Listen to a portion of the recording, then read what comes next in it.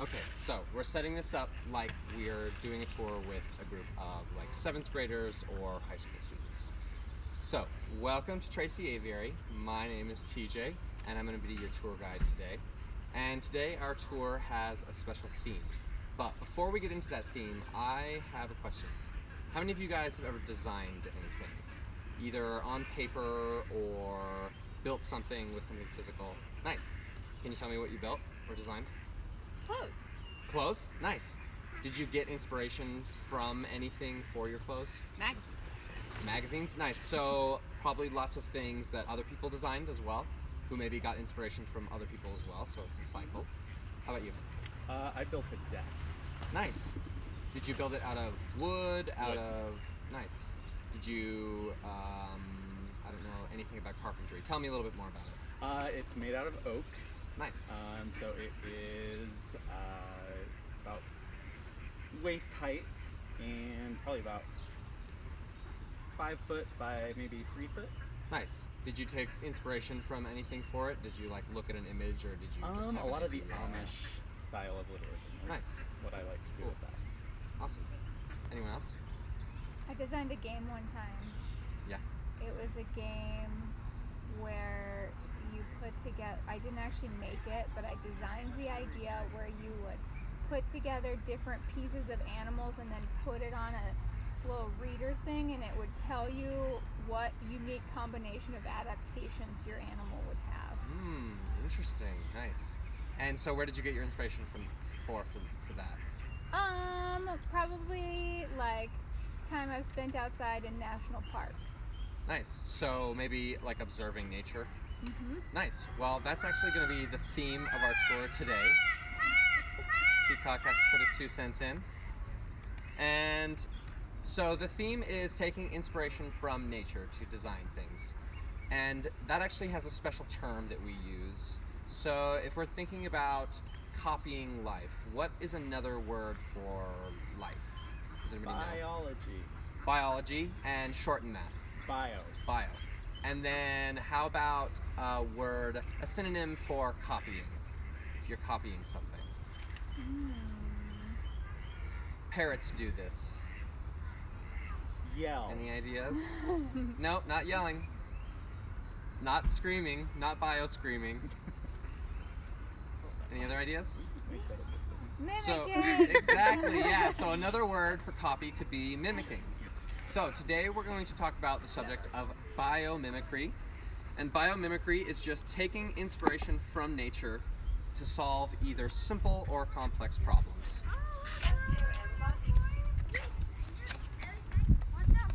So here's my little booklet of information for you guys. Oh, I'm so sorry. Are they? No, you're No, you're good. You're totally good. just a practice run. Okay, so as I was saying, taking ideas from nature to make our world better can either be simple or complex. And one really simple thing that we have taken inspiration from in nature are burrs. Have you guys ever been walking through the park and those like little things get stuck to your socks and shoes? If you ever if if you ever have examined them really really closely, you'll notice they have small hooks on the ends of them of each barb.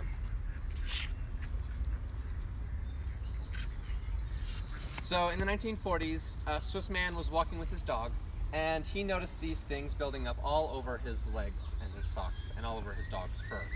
And he noticed these hooks were really good at getting themselves entangled in fibers. So for eight years, he took nylon twine and he created something called Velcro, which had a really hard time uh, finding its way into mass use for a long time until the 1960s when it was found to be very useful for astronauts who don't have a whole lot of dexterity when they're moving in their big spacesuits. So they found that they could use it on everything from pockets to fastening equipment to each other to even standing in place in zero gravity. They would have Velcro on the bottom of their shoes. So you can see these nylon hooks get entangled with smaller loops, and that's how Velcro works. They just all get entangled, and the combined strength of all those little hooks helps keep you in place. Now, it didn't have anything to do with keeping them in place, but they also found that they could use it on the inside of their helmets to scratch their nose on whenever it had an itch. Okay.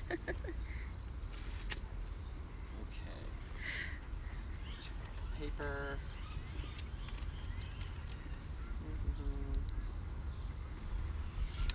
So that's an example of something really simple that we have taken from, taken inspiration from in nature.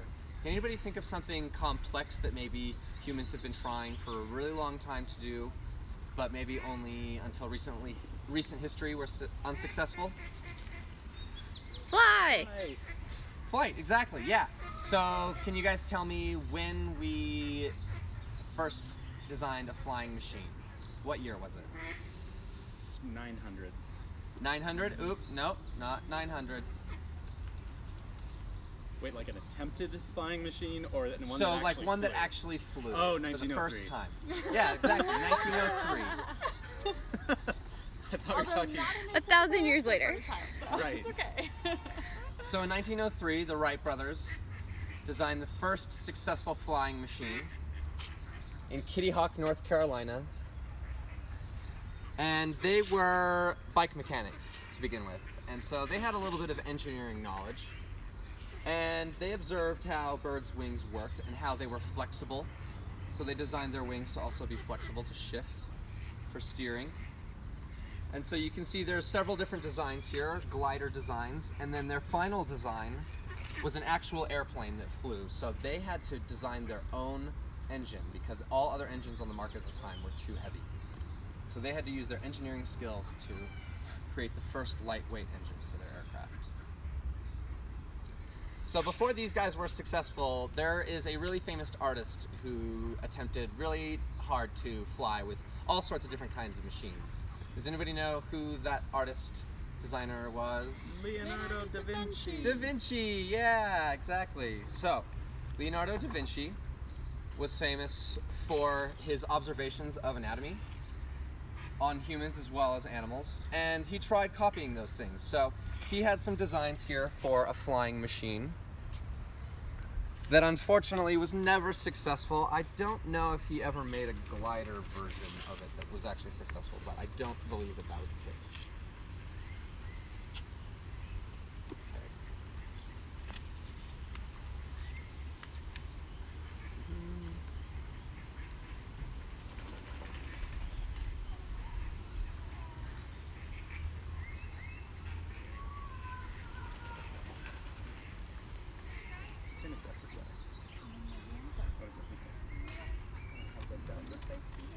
So we've observed how birds will use. We we've observed how the Wright brothers have taken inspiration from birds to make flexible wings for control. But if a bird wants to travel faster, does anybody have any ideas what a bird would, would want to do with its wings?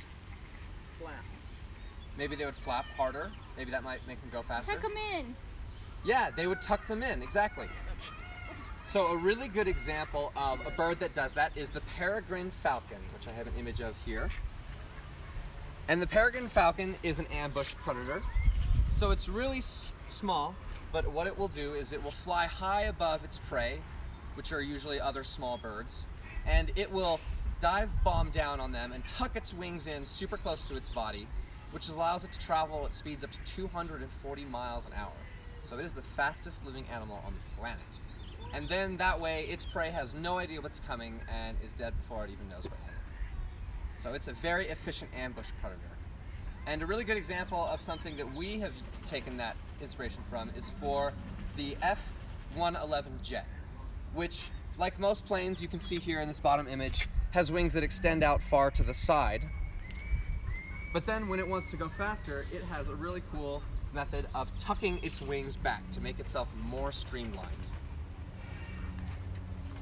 And since we're talking about the Falcon, unfortunately, since our Falcon is just in our bird show, it doesn't have an actual exhibit, we can't go visit one, but I have a really cool piece here for you to check out. This is a peregrine falcon wing, and when things get old, they die, and we sometimes will save their body parts to use as education tools. So I wanted to get this out to show you guys a really good example of how the stiffness and the sharpness of the wing would be really helpful in a bird that wants to move really quickly and dive on its prey. So you guys can go ahead and feel. Yeah. Maybe for seventh graders and up, I could pass it around. Mm, I'd still Or, or high it. school. Okay. Yeah. Cool. So you can see that it's, you could feel that it was very stiff. The feathers on this are very stiff and strong, and it has a very sharp edge. And that allows it to travel at great speeds, especially when it tucks in its wings. So we've talked about we've talked about birds that go fast. Now, who would we talk about when we're thinking about birds that want to be silent? Owls. Owls, exactly. Yes. And luckily we have some owls on exhibit, so we're gonna go walk on over there and talk about them a little bit. Follow me? So up here we have the great horned owl, and I want you guys to just take a few moments to look at it, maybe make some observations about its body, maybe its shape or its colors. Now, does anybody know what owls like to eat? Can anybody tell me? Mice. Yeah, they like to eat mice, they like to eat meat, usually small mammals that are living on the ground. And they happen to hunt only during a certain part of the day. Maybe that's the wrong way to phrase it. Hmm. I know that Owls word. are owls are nocturnal. Does anybody know what that means? Can anybody tell me what nocturnal means? Yeah, They sleep during the day and are active at night. Exactly, exactly, yeah. So, they, just like the last bird we talked about, the peregrine falcon, are ambush predators. But unlike the peregrine falcon, these guys hunt animals that are on the ground. So, when they're ambushing their prey, they need to approach a little bit more slowly and need to be a little sneakier. So, they've developed some really great adaptations for that. And I'm going to pull out a wing for everybody to see.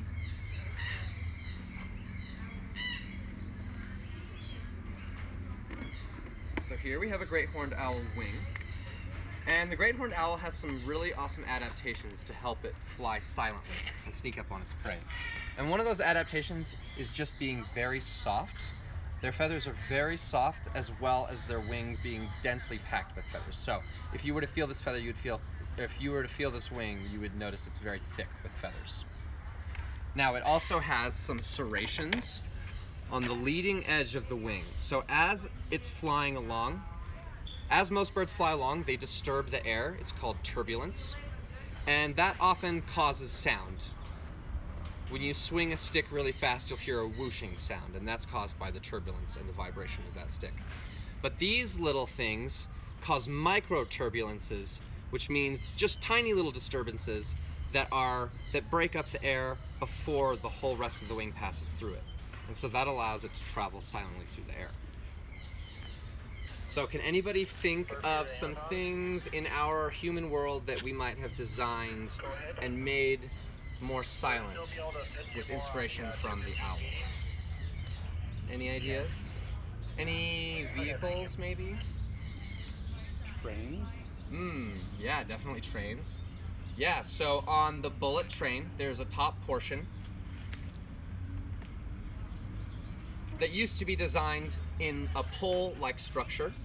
And like I said, if you swing a pole through the air, it's going to make a loud whooshing sound. And since bullet trains travel so quickly, they're really loud. So they redesigned that structure that attaches the train to the electric wires above to have serrations along the edge, just like the leading edge of this wing, to help break up air as it passes over it. Nice. So that's an example of a vehicle that we have changed to help make it quieter. Can anybody think of anything else? Fans. Exactly. Yeah, fans. So fans are a really big contributor to noise a lot of the time, especially in like industrial areas. So I have an image here of a fan that has been modified to more closely model the owl wing. So, like this owl wing, you'll notice is also very wide. And in this image, it's also shown to have a deep bowl shape. So the width and the bowl shape allow it to fly slowly and silently. And so they designed these blades to also have a wide and a bowl-like shape.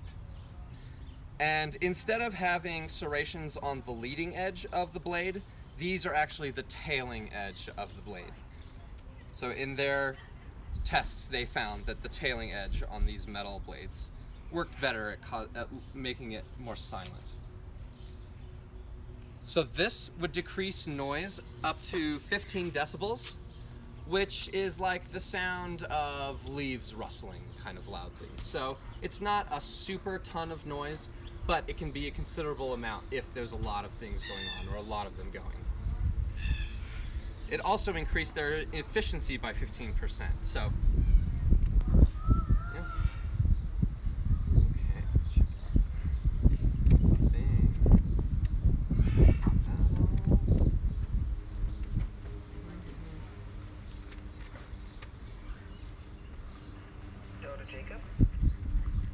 So we've talked about how structures can help make a bird fly silently, but structures might also have another surprising purpose. And we're gonna go meet a bird that uses some structures in that way. So you guys can follow me now. So in this exhibit, we have some macaws, which are a special type of parrot that are known for being very, very colorful. So I allow people now to take a few moments to look them over. Notice what colors you see. I see a lot of green, little yellow, lots of red. Do you guys see any other colors? I see red. Oh, you said blue? Yeah, blue is also a color on that. Hey, I sort of overheard some guests complaining that there was like that the bathroom wasn't enough. And they were standing by the one at the visitor center. Do they? Okay. didn't know if you wanted to, um, So, you guys might have learned that white light is actually made up of all the colors of the rainbow. Have you guys ever played with a glass prism, which is like one of those glass triangle things? Yeah. You might have done an experiment where you shine a light through it, maybe sunlight, maybe a flashlight. And when you do that, the light waves are broken up and separated so that the white light is separated into all its separate colors of the rainbow. And so light is just made of waves. And all color is, is our perception of different sized wavelengths of light. So red light has a really wide wavelength, and wavelength is just the distance between the peaks on each wave. So red is really low energy and has a wide wavelength. Whereas purple has very high energy and you can see the waves are really close together. So the glass of the prism slows down the white light until they all separate. And most animals in nature use pigments to color themselves. So that's like natural dyes. But there is one color on these birds that actually isn't a natural pigment or dye. Can anybody think of what color that might be? Blue. Sorry. That might be a color. Do you guys think you might know what color is not like a dye on their feathers? It's an illusion. Any ideas? I had He likes blue. Nice. Yeah. So, blue is very difficult for nature to make. But lots of animals have discovered a way to trick us into seeing blue. And because light waves, light is made up of different waves, you can make structures on your body that interact with those waves if you make them small enough.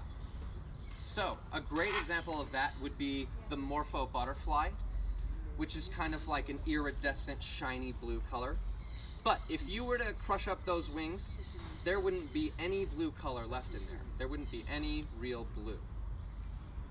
And the reason we see blue is because when white light hits their wings, there are tiny, tiny, tiny, tiny little things on their wings that interact with the light waves. And they do something called constructive interference, which means that the waves interfere with each other in such a way that it cancels out all certain colors and amplifies all of one certain color. So with morpho butterflies, they have this very specific, almost looks like a pine tree arrangement. But on a lot of birds, what they have are just an arrangement of molecules that do the same job. They interact with light in the same way, canceling out waves in a certain wavelength and amplifying some of others. So just like with the butterfly, if you were to crush up a blue feather, just like this one here, you wouldn't see any more blue pigment in it. So you can see how it looks really blue right now, right? But if I hold it up to the sun a little bit more, does the blue kind of disappear? Does it look more gray? Yeah. That's because light has to hit the surface of this in order for those structures to interact with light in such a way that you see blue color.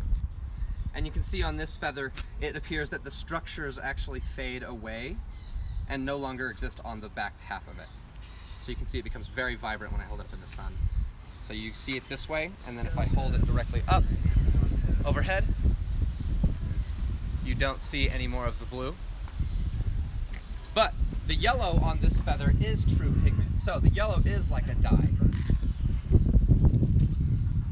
So this came from a blue and gold macaw, and this one came from a, I believe, a green wings macaw. So it also has blue on there, but instead of having yellow on the bottom, it has red pigments on the bottom. Never mind. Do you guys want to feel this feather? You want to feel it? These are really colorful, huh? I really like parrot feathers because of how colorful they are.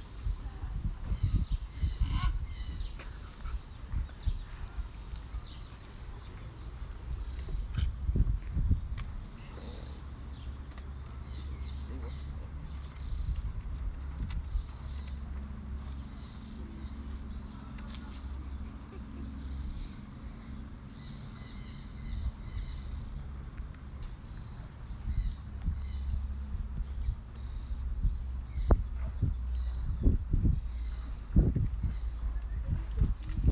So, there are lots of different nanostructures with lots of different jobs in nature. And we talked about how the owl uses their nano their structures to help them move silently through the air. And how birds use microstructures in their feathers to make us see certain colors. But sometimes microstructures can even be used to help you stay clean. So, the lotus leaf, and a lotus is this flower here on the front of my binder. The lotus, because when water falls on it, water can't penetrate these little things and they ball up like this. And they ball up like this because they have something called surface tension. So they stick together and they don't stick to the surface of the leaf and they just roll off. And as the beads of water roll off the leaf, they carry any dirt off of them. It might be clogging up the pores of the, of the leaf. Another really cool use for microstructure is, clean, is, is cleanliness on a viral level or a bacterial level. And sharks, we discovered, are really good at keeping algae from growing on their backs because if you've ever noticed maybe in a pool or in a stream, there's lots of green algae growing on rocks and flat things. But they have tiny microstructures on their scales that keep tiny little germs and bacteria from growing on them. So they don't have any of that plant gross stuff growing on their backs. And so we took that idea and we made things in hospitals that have surfaces with those same patterns. And those surfaces help keep diseases from spreading in hospitals because that can be a place where people go when they're sick. So we want to make sure that disease isn't being spread. So that's a cool idea we took from sharks.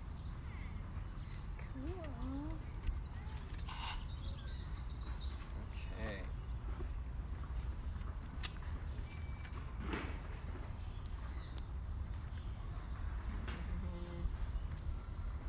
Cool. Now we talked about microstructures. Now we're going to talk about a big structure on a bird. So we're going to move to another exhibit to talk about that. So you guys can follow me. We're doing a test run of my intern project tour. Thanks for being an audience, guys. So, the next bird that we're theoretically going to see is the Guam kingfisher. Ooh, okay, I found it. Great. So, Guam kingfisher is really tiny bird. And as you can probably guess by its name, this bird likes to eat fish. And the way that it likes to fish is it'll hang out above the water and it'll scour and it'll wait for the opportune time before diving straight down in and taking a big bite of whatever they think they're going to find. And their beak is specially designed to be really resistant to splashing. So the sharp point of their beak penetrates the water very efficiently without disturbing any water around it. So as you can see in this example, if it were a rounder shape beak of a bird trying to fish this way, then the shock waves might disrupt the fish and scare it away before it can even reach it in the water. So this sharp beak is a really great adaptation for allowing them to be excellent ambush predators on fish. So can anybody think of a vehicle who we might have modeled their design off the beak of the kingfisher? Trains in Europe. Trains in Europe? Hmm, maybe trains in Europe. But you're on the right track. They were trains, but they're a special kind of train. Any ideas? Ones that went through tunnels. Definitely ones that go through tunnels. But this kind of train has a special name, and it's in Japan. Bullet train. Bullet trains! Exactly.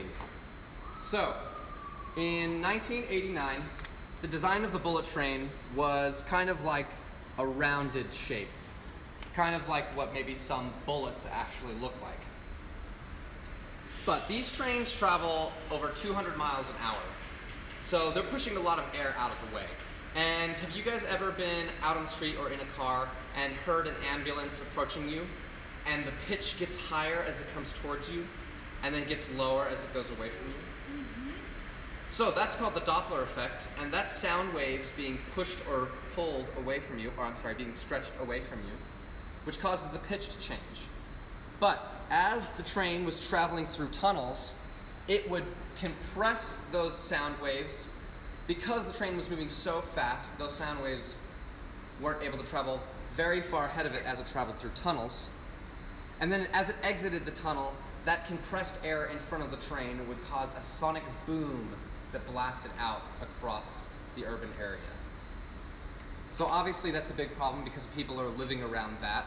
They don't want noise that can blow out windows to be occurring on a daily basis. So an engineer designed the king designed the bullet train, redesigned it after the kingfisher's beak, and he happened to be a bird watcher and the head engineer on the team. So like we talked about earlier, the pantograph on top of the train, which connects it to the electric wires above, was redesigned using inspiration from the owl. And so that was the same guy who took that same, I'm sorry, it was the same guy who designed that part of the train, who also took inspiration from the kingfisher to design a more efficient nose shape, Ooh. which is extremely aerodynamic and efficient, and caused it to be up to 15, uh, I'm sorry, that was the last one, 25 decibels quieter in urban areas. So that would be like uh, a hair dryer being turned off, and you're like, oh, fine, quiet. Okay, let's see, got anything else? Yeah. So, that's the end of the tour. If you guys have any questions for me, you're absolutely welcome. Theoretically, if someone should should should choose, they can do an activity where they shorten the tour and they get in groups and they try and design something based off of nature. So they talk about three things that they like to do or like to make, and then they'll pick one of those things and try and think of something in nature that they could take inspiration from to redesign that thing. So thank you very much for coming on my biomimicry tour. Pleasure taking you around.